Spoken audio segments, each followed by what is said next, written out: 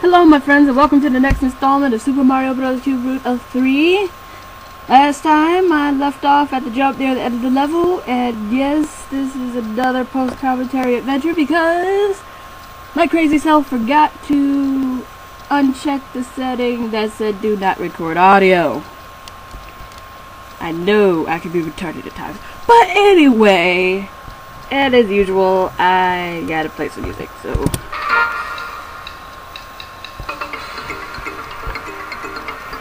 And I didn't start all but that's okay! Anyway, so, there I am, jumping, trying to get that other block, because it's being a pain, and doesn't want to be destroyed. But I'm having trouble even jumping high enough to get to the block because of how this particular save is.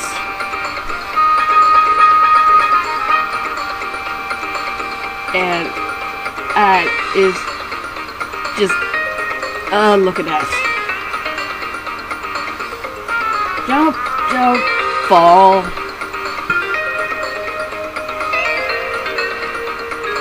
Come on, Mario.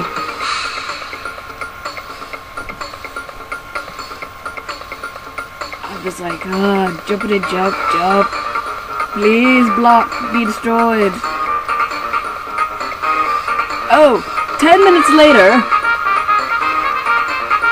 and it was quite literally like 10 minutes or so later, I'm just like, okay, I'm gonna pause it, I'll get back, and woo, five lives! But, I was just like, okay, I'm not gonna take a whole, a whole other 10 minutes on this jump, so I was just like, I'll cut and come back. So that's what I did for once. That is 1-3 completed. Now for 1-4.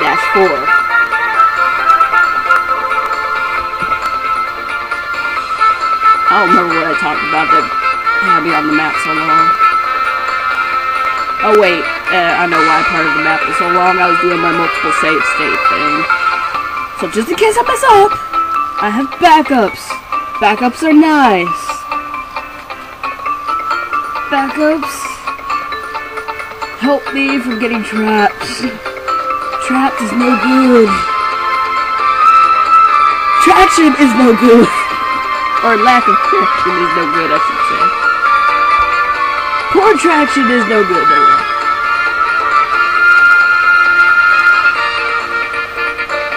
This level really isn't that difficult. It didn't really take me long to figure out the first time I went through it.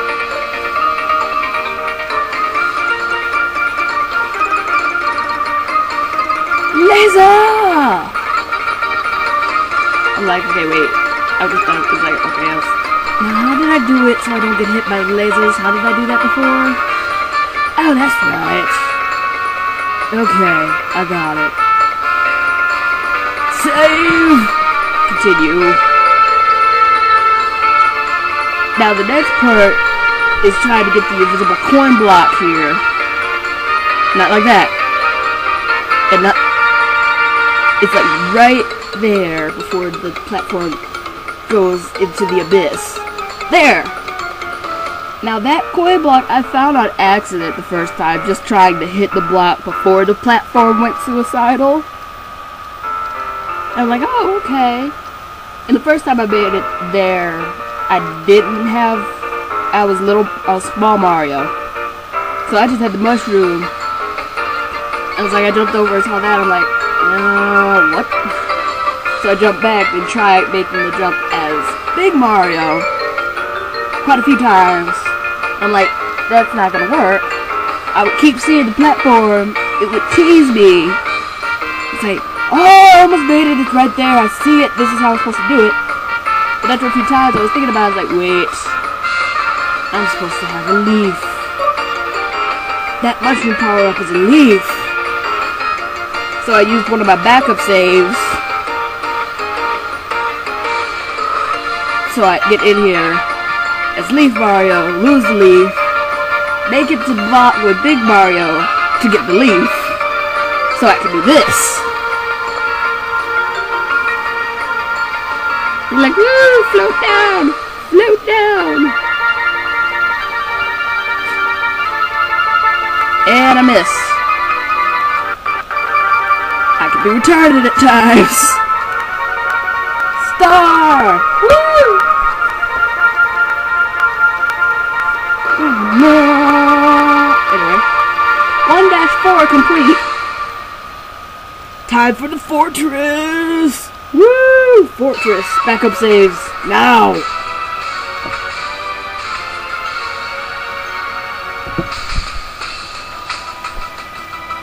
I forgot what I was talking about. Uh, oh, I remember.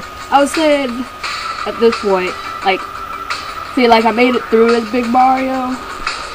I couldn't make it up there as Big Mario, the conveyor belt. So I probably could have, but as you see, as you will see once I get past this point, for this one part, I don't think Big Mario would help me that much. I need to be small. Just a matter of opinion, but once you see what I'm talking about, I think you'll agree with me. Just saying. Just, just throwing that out there. If I could get the timing right. Yes, I, I, it's like I sat there long enough the first time around and figured out the best time to run. So I'd make it past the ghost without getting hit. It's a four count.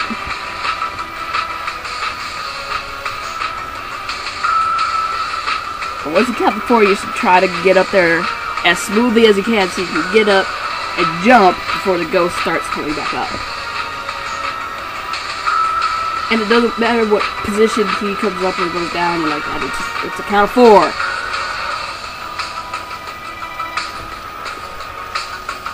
And I failed. But it's like one, two, three, four. Usually a slight bit slower than what I just counted, but yeah. That's what I'd be counting in my head, but two, three, four.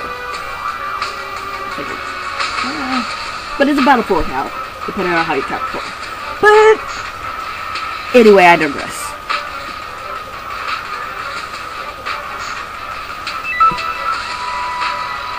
It's like I either hit the ghost or I jump too soon. Once I get up there and hit the spikes. Like that. Spikes. Oh, I made it. Oh, no, I didn't. Uh, spikes. Not my friends. Just like Medusa heads. Yeah, not my friends.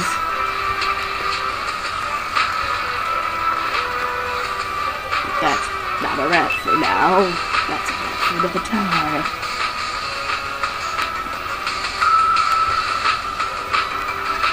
Hey, uh, come on, get on the conveyor belt! I implore you. There we go. Save. And try not to fail, please. Tone it down, the failage.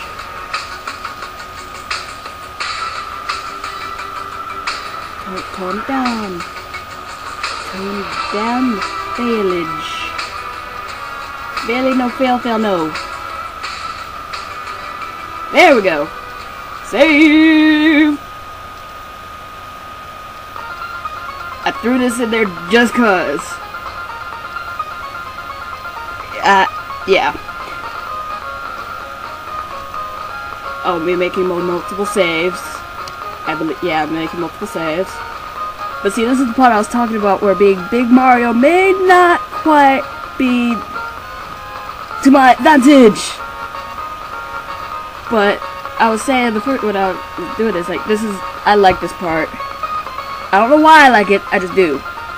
And I yes, I do pause while I'm in the water. And just like swim Epic button tapping. That you would have heard epic button tapping. Save. The reason why this took so long and I didn't automatically save, because my reaction was something like, Cannon! Giant cannon of death, I forgot about you! I forgot! giant cannon of death. Why did you have to be there? Or something to that effect. That that was my reaction. And I actually head desked at that point when it got back to the the world map.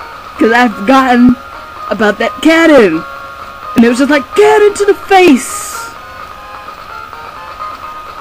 And that's the end of this video. I shall see you in the next part. Bye bye.